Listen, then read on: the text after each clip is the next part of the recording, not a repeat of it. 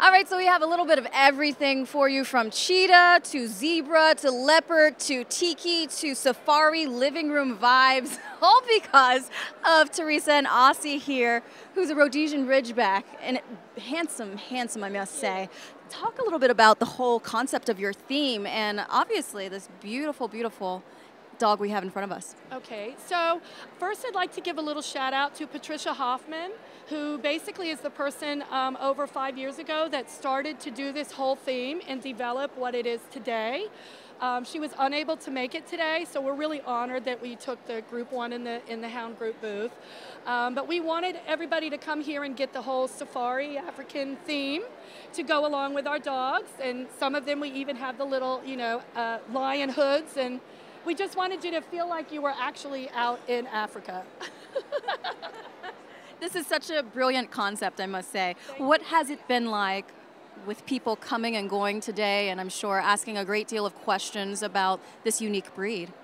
It has been wonderful. People with their children, especially, I am finding that they're um, very educated with the way uh, the sign that the AKC had up before you first came in that said how to come up to a dog, how to interact with a dog, and how to pet them was really a wonderful thing because all the children no matter what age, they all came up with their hands the right way. They all came up with their um, asking if they could pet the dog. And I really believe that that is through the education of when they first walk in the place to come here.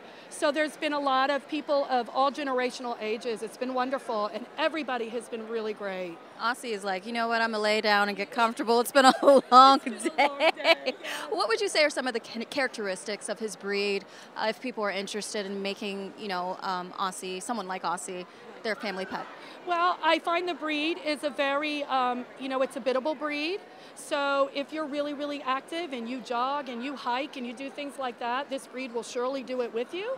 Uh, if you spend a little more time, you know, hanging out at home, doing more activities at home, they will also do that with you as well. So they're not, you know, totally hyperactive or anything like that. So they do very well with um, families. I had three children myself and a granddaughter now. And it's just a really calm, a, a really kind of mellow breed that, um, you know, requires activity, of course, but they don't have to be overly active. And very well, easy to groom. It's a, it's a low maintenance grooming breed. That's perfect for people who are curious about that as well. It's a very important note. Um, as far as training, what would you say has entailed his training um, to date? Well, I think it's important to do early development training with the puppy. Um, you know, try to get them to a class so they can get the basic uh, obedience, um, so that they learn how to be a good livable dog. Uh, I do say that with this breed in particular, we are a breed that likes food motivation type training. Uh, we don't like trainers who want to put like collars on them that are corrective.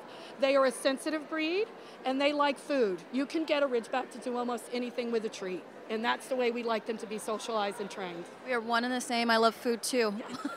Me too. Well, thank you so much for joining us today. Welcome. Thank you. Thank you for having us. I think he's liking all the little kids over there. he has fans. He has some fans. Yep.